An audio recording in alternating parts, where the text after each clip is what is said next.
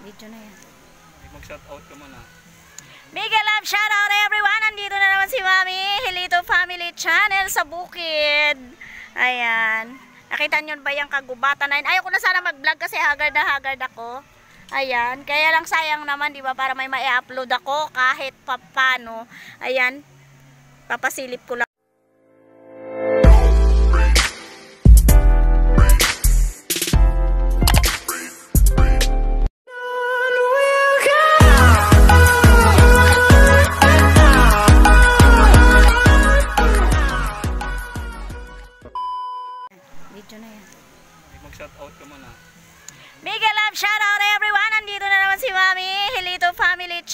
Sa bukid. Ayan. Nakita nyo ba yung kagubatan na yun? Ayaw ko na sana mag-vlog kasi hagard na hagard ako. Ayan. Kaya lang sayang naman, di ba? Para may ma-upload ako kahit papano. Ayan.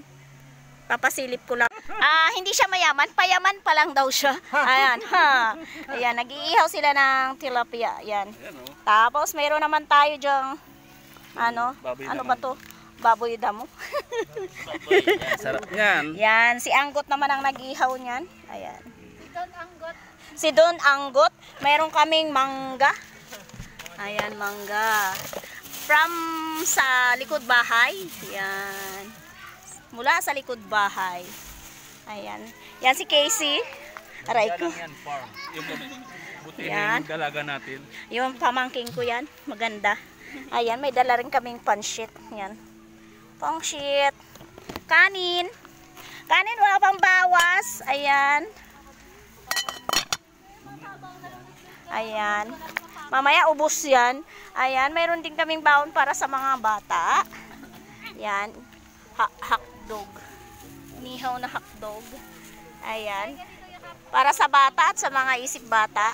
Ayan. Yan ang aking ano yan oh. Yayamaning anggot. Yan. Ayan. Siya yung nagmamanage ng inihaw na yan. Siya yung nagmamanage ng inihaw na yan. Kita niyo yan, si Bunso. Todo silpi rin siya oh.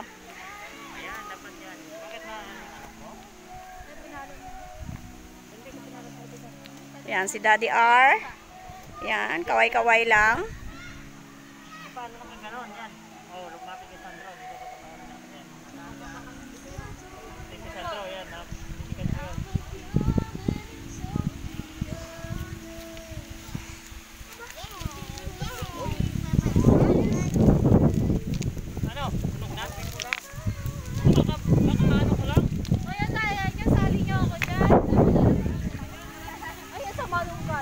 Puno yun sa puno yan o.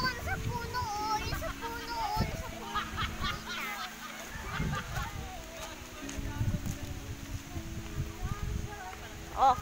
Oh. Oh. Oh, yan. Mga nagsiselfie. Ayan. Model ng ano? Ah, kabgubatan.